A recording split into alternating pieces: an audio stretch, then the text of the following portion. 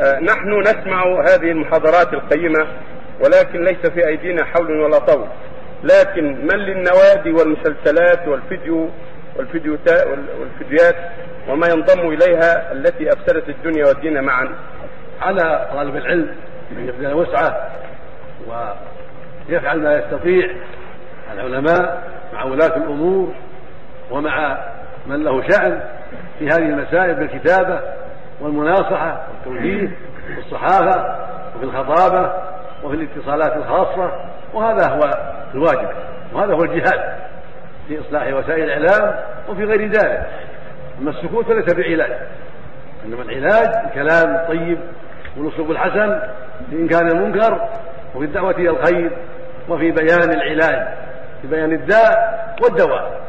تذكر الداء وأضراره وخطره وتذكر معه الدواء حسب علمك وقد تخطئ وتصيب والآخر يخطئ ويصيب فيجتمع الصواب ويترك الخطأ.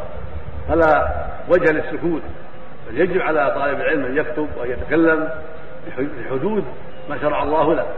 في في خطبته في مجتمعاته مع إخوانه في مدرسته في تعليمه للأولاد إذا كان استاذا في غير ذلك من الوجوه يعلم ما شرع الله ويعلم ما أمر الله به ورسوله.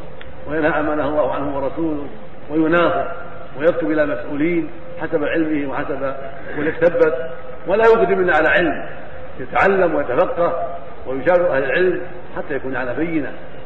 فإذا كان على بينة قد يكتب ولينصح وليوجه ويستعين بالله عز وجل. وقد قال النبي عليه الصلاة والسلام ادنوا النصيحة. ادنوا النصيحة ادنوا النصيحة. وبايع النبي صلى الله عليه وسلم جرير بن عبد الله البجري على النصح كل مسلم.